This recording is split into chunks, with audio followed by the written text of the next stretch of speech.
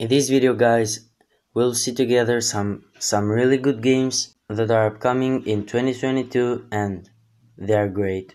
For more, let's continue to the video.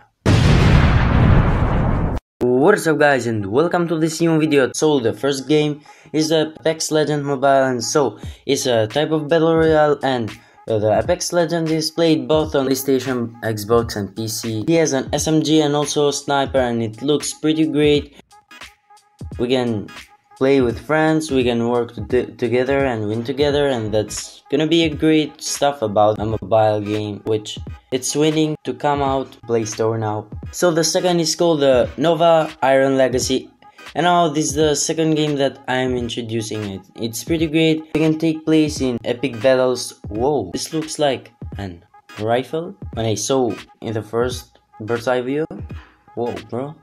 So street of rage 4 so it's uh, another game and it's like 2d but it looks great. You, you see the this far it's actually a photo but it has great animation believe me guys and there's gonna be great stuff. Great thing a great oh drop kick. What is this? Okay whoa.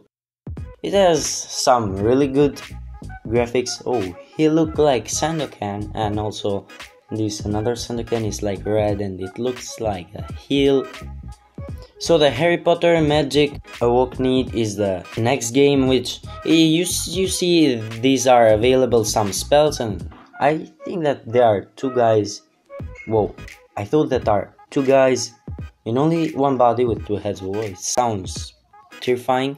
So uh, we can duel with players which it seems pretty great. Just you are seeing right now which it has different units or troops in the field and it's great. So the next game is dc heroes and villains. We will let's say a little bit for some seconds the trailer but no more.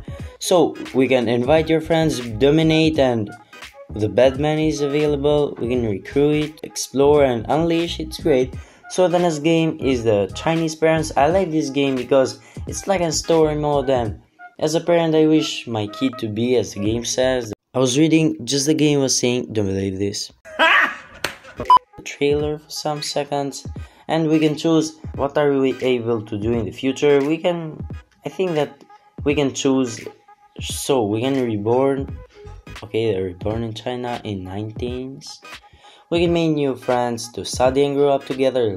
This looks great but i'm waiting to see more from this game. So it has also various uh, mini games the future the profession. So the one of so the next game is called the ocean and as you're seeing now. It's a big whale and also a character which is trying to say something uh, maybe for so long. I'm kidding guys. So as you're seeing they are friends and graphics look look good uh, and what is this? This is a sky? Yeah it's good. I think that it has better animations as you are seeing now and also these are some of the photos. So this looks like good. And it's called the dark eden m on WEMIX. So you're seeing the trailer and it looks great. It's not available in this video guys the audio but sounds great. So we can defend. This is also the last clip of the reaction guys.